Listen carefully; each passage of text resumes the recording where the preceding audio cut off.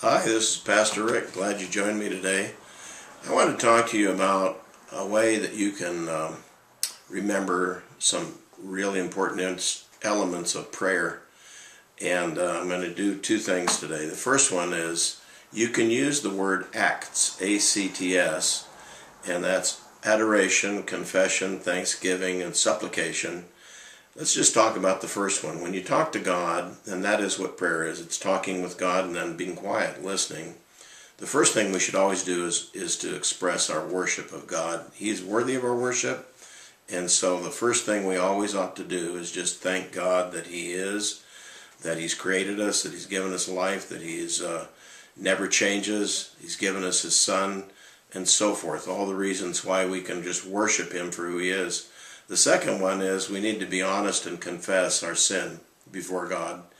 Did you know that He already knows all of your sin anyway? So you might as well tell Him that you admit it and ask Him to forgive you of your sin and then ask Him to give you the power to resist temptation to sin.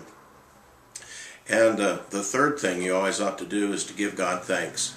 We're soon approaching Thanksgiving Day. I'm going to make a suggestion that you make every day a Thanksgiving Day. It's good for you to give thanks. It will change your outlook to an up upward look and um, give you a reason to be encouraged every day.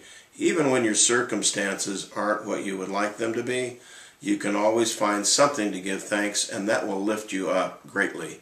So give thanks. And then the last one is supplication, which is means you pray. You pray to God for other people and you pray to God for the things that are needed in your life, uh, and that's supplication. Now, somebody might ask me, well, Pastor Rick, how can I remember who to pray for? Well, let me give you another way to do that. I'll just use my hand, and I'm going to say, first, pray for those that are close to you. Uh, people that you work with, people that are your neighbors, people in your family that are close to you, and remember to pray for them every day. Second, pray for those who are teach teach you. Could be someone at where you work that has helped you greatly. It could be a teacher uh, uh, uh who teaches you. It could be a, a pastor, but someone who teaches you. Remember to pray for them every day. That we all need your prayers. And then remember to pray for those who are over us in authority.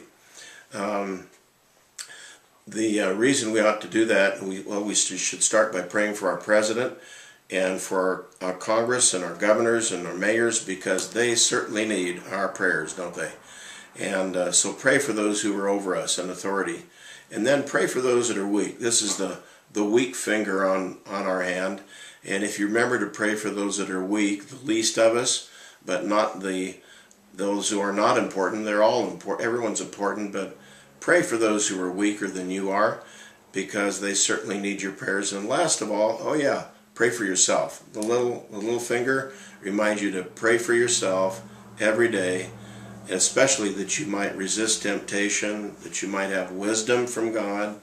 And I know that God will lift you up, encourage you, strengthen you. You can trust Him. God bless you.